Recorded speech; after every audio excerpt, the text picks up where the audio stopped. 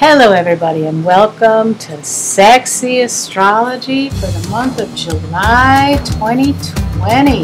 Yeah, long overdue.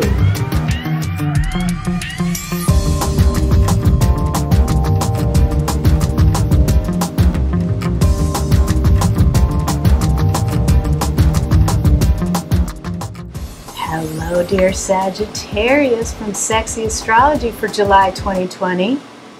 You ready for the revolution, man?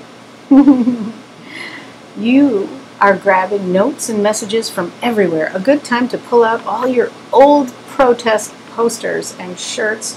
Come on, don't be shy, get back out there. You're, you, in particular, are a good midwife uh, of the revolution. Discussions, all things political, with a very fresh take. You can teach. Lead with your brain. It doesn't hurt to show how smart you are. Bring it. It doesn't hurt to show how smart you are. You're willing to have the difficult conversations and talks without being emotional. Oh, yeah. Do it. We need you.